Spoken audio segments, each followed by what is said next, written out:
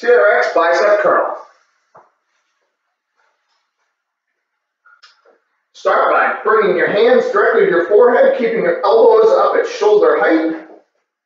Extend your arms back and lean back. Now curl your arms forward and bring your forehead right to your hands. Keep your abdominals tight and keep your hips in line. Squeeze those biceps when you're up here and make them work. If it's too hard, you can step back to make it easier on yourself. And if it's too easy, you can step forward to make it harder. Choose the difficulty that works for you. Good job.